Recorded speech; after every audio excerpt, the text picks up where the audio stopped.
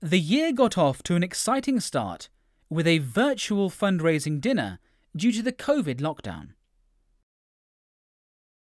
Our team in the north of England set up a community garden, providing freshly grown vegetables for the needy through our food bank.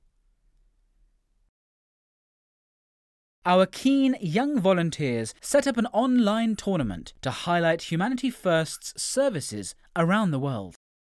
Our second food bank opened its doors to the public in May 2021, reaching out and serving the vulnerable in the West Midlands region.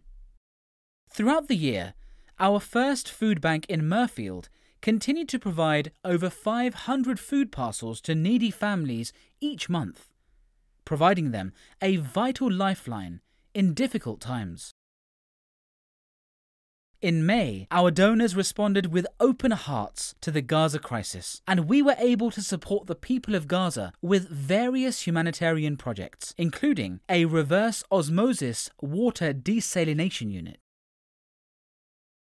Humanitarian support in a crisis or in resolving a conflict is the first step.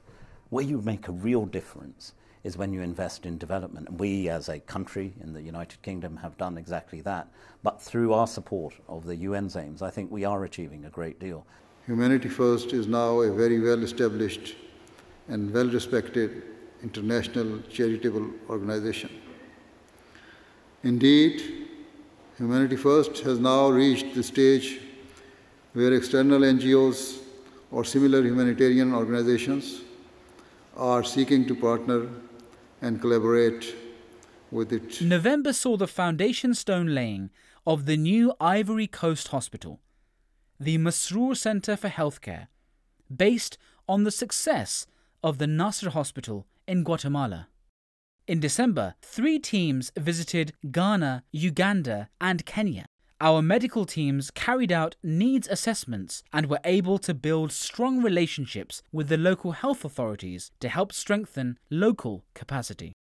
What we have here is uh, 200 bags that are ready to be taken to Ematawa Primary School.